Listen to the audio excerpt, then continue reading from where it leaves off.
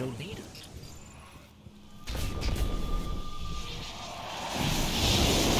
One of my teams reported taken energy infecting the water supply.